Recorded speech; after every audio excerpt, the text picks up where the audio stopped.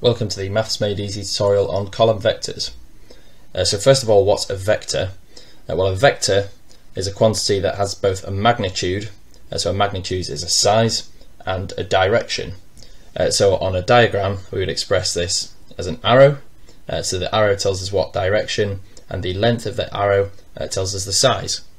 Now, a column vector is essentially where we split the vector into its two components. So here you can see that the vector has uh, a component of 3 in the x direction and 2 in the y direction.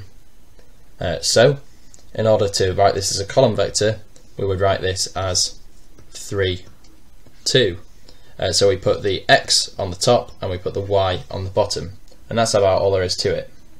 Uh, so let's have a look at another skill now. So if we want to add or subtract column vectors, so say we have AB plus C, D, uh, then quite simply we just add the x and the y components separately. Uh, so the column vector then becomes A plus C, B plus D. Uh, so for example, if we have the vectors negative 3, 4 and 5, 2, uh, then that would become negative 3 plus 5, 4 plus 2, uh, which is equal to 2, 6.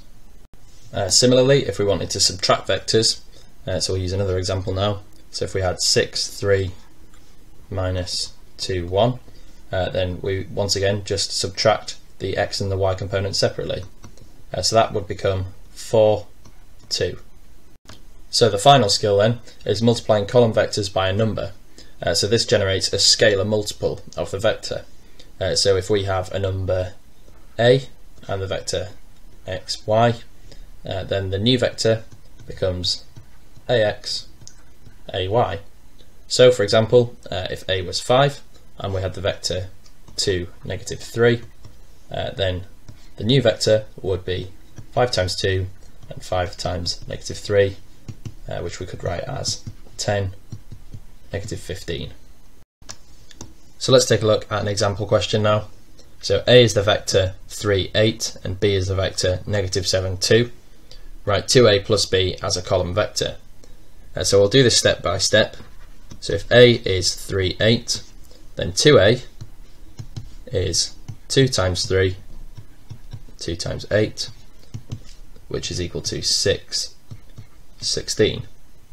Okay, uh, so if we want to do 2a plus b then, uh, then we have our vector 2a, 6, 16, plus b, which is negative 7, 2, uh, so if we add negative 7 to 6, we get negative 1, and if we add 2 to 16, we get 18. So the vector 2a plus b equals negative 1, 18. If you want to get some more practice with column vectors, then you can do so with our online exam. It's available through our revision platform.